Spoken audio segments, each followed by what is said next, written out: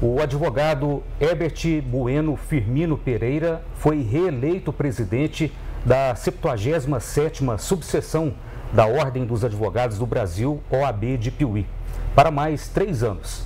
A eleição ocorreu nesse domingo e pela primeira vez a votação foi online. A chapa dele, Legado e Futuro, recebeu 116 votos, 58,29%. A chapa Valorização e Resgate, encabeçada pelo advogado Emerson Oliveira, obteve 83 votos, 41,71%.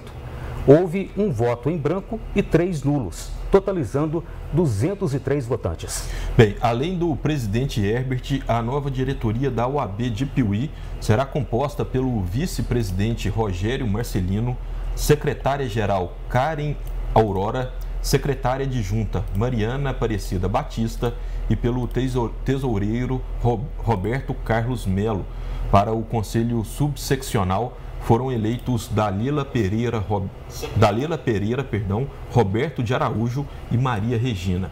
E para o Conselho Subseccional e Caixa de Assistência ao advogado Diogo José Gilmara Leite e também Adriano Silveira. Então, repetindo, para o Conselho Subseccional e para a Caixa de Assistência e ao advogado, os três advogados Diogo José, Gilmara Leite e Adriano Silveira.